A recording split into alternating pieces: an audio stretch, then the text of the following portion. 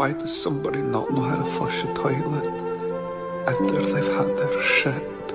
Wasn't me. Well, it was fucking one of yours. Disgusting.